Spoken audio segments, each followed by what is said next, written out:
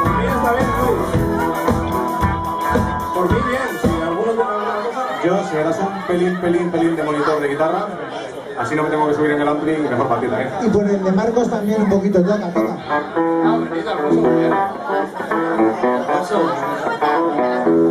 Por el de Marcos también.